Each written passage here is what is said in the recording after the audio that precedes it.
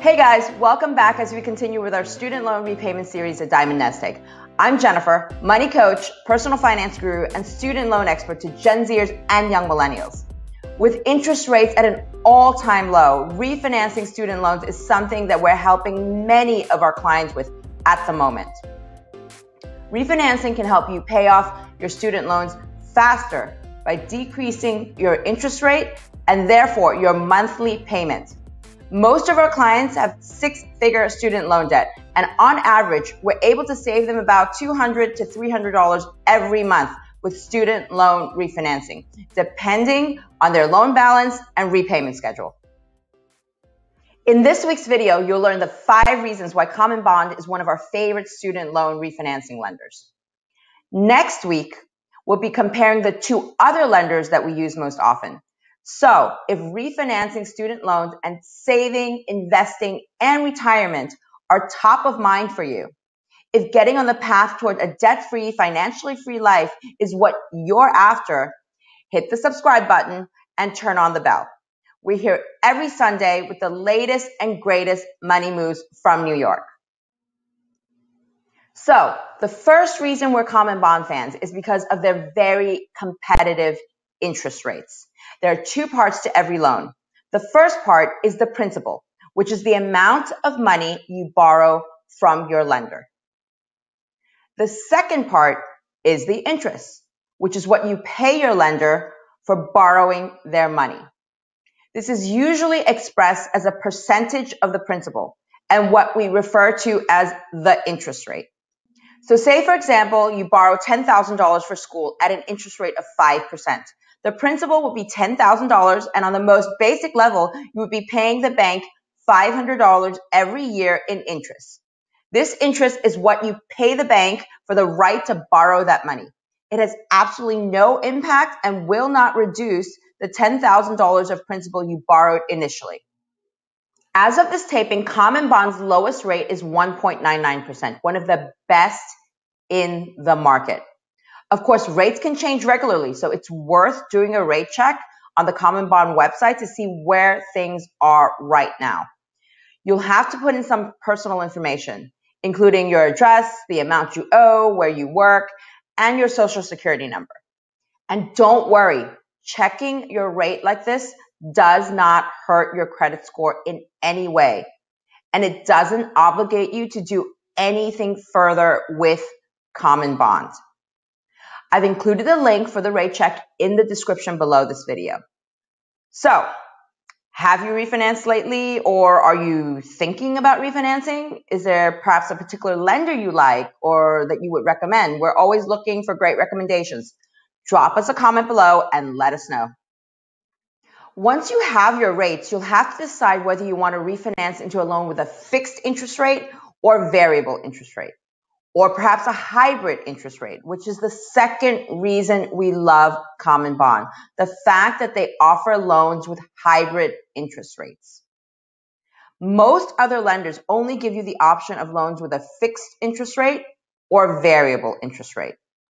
In our opinion, hybrid loans allow you to combine the best of both worlds when it comes to fixed versus variable interest rates.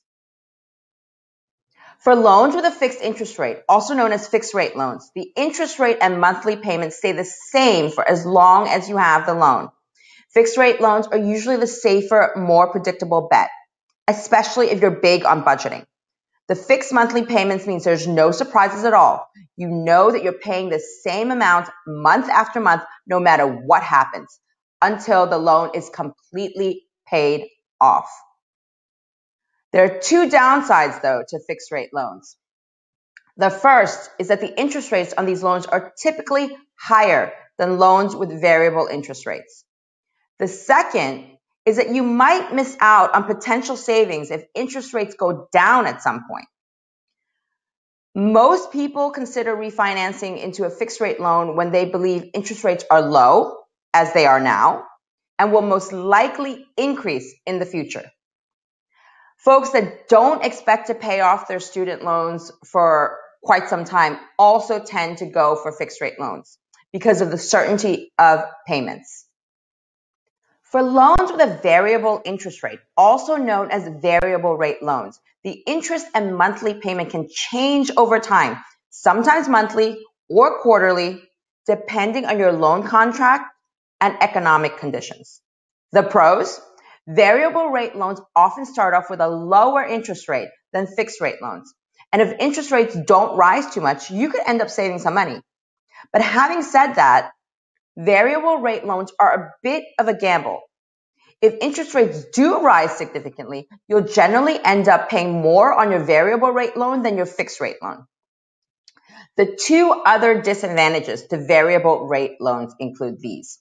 One, unpredictable monthly payments. And two, the possibility that the number of monthly payments will change as the rate changes.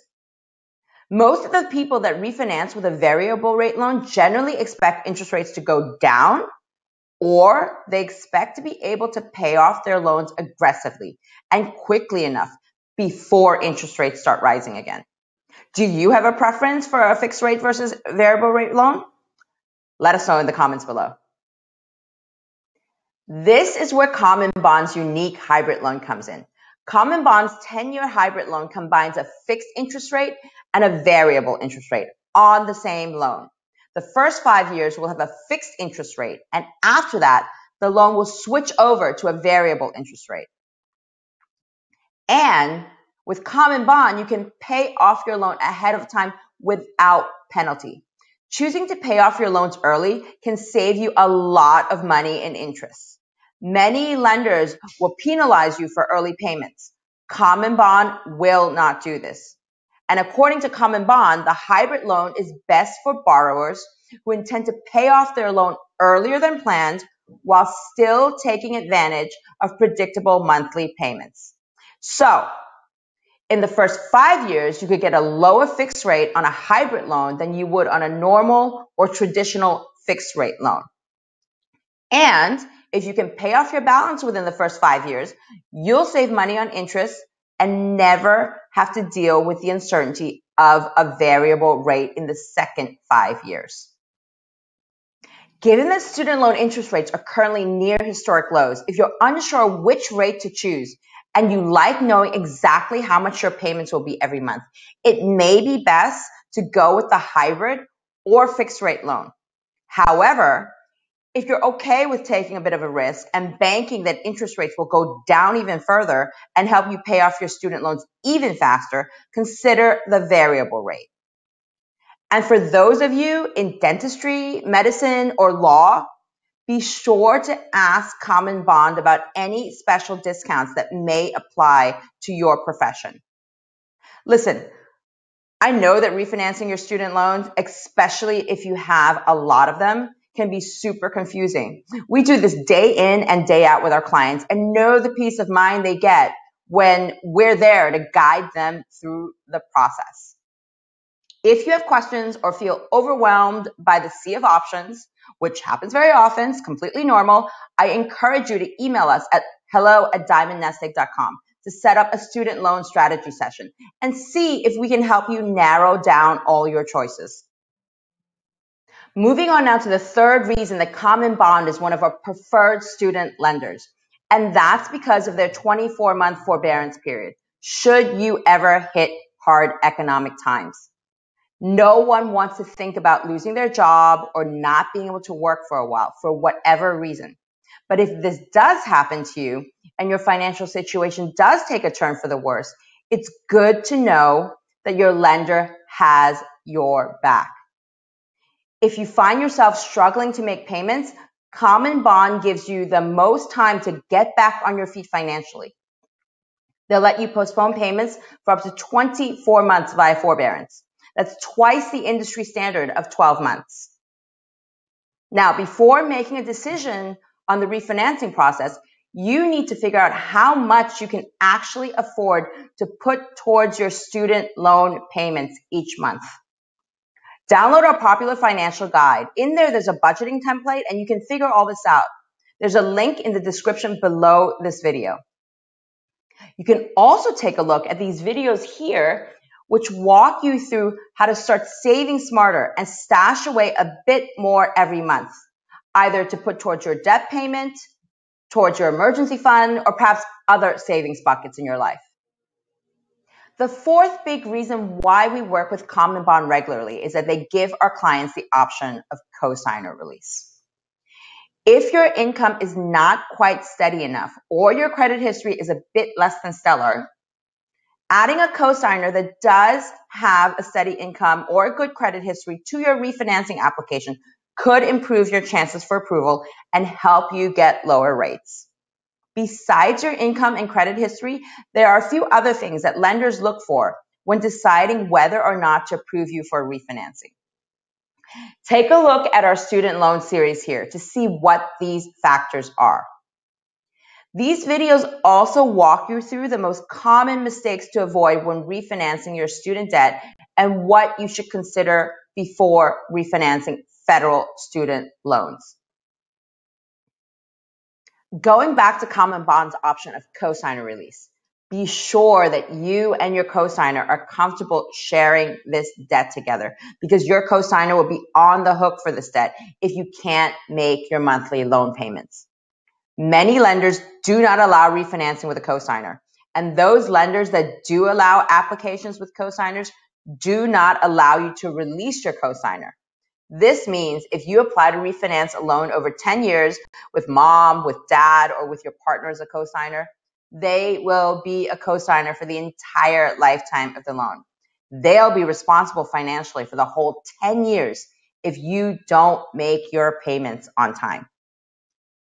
With CommonBond's perk of loan cosigner release, though, if you make 36 consecutive on time monthly payments, you can apply to have your cosigner removed from the loan so that going forward, you'd be the only one responsible for your debt.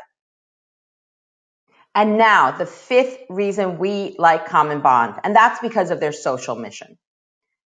CommonBond partners with nonprofit organization Pencils of Promise to provide schools, teachers, and technology to thousands of young learners in Laos, Nicaragua, Guatemala, and Ghana. When you refinance with them, they promise to cover the cost of a child's education in one of those countries. To date, CommonBond has donated more than $1 million and built over 470 schools through this program. If you want to refinance with a socially responsible company, CommonBond could be the right choice for you. Here's a quick overview of the basic eligibility requirements for refinancing with CommonBond. First, you must be a U.S. citizen or a permanent resident with the proper documentation.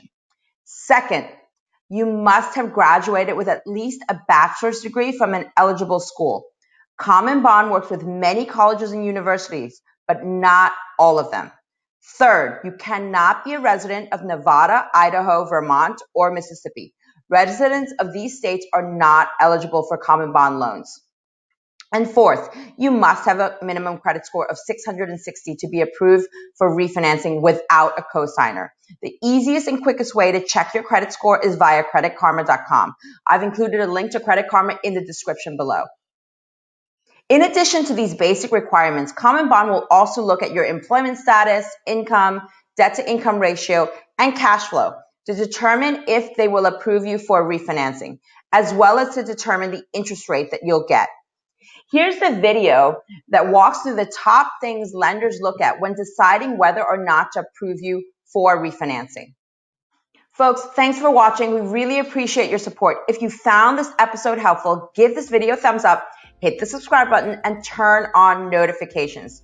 You will be notified immediately next Sunday when we'll be back with a comparison of the other two lenders we use most often to refinance our clients' student loans. Also, it really helps with the YouTube algorithm and spreading our financial education efforts to other Gen Zers and young millennials. If you have refinancing questions that you want to speak to a human being about, shoot us an email at hello at diamondnestegg.com or simply hang around and check out the other videos on this channel.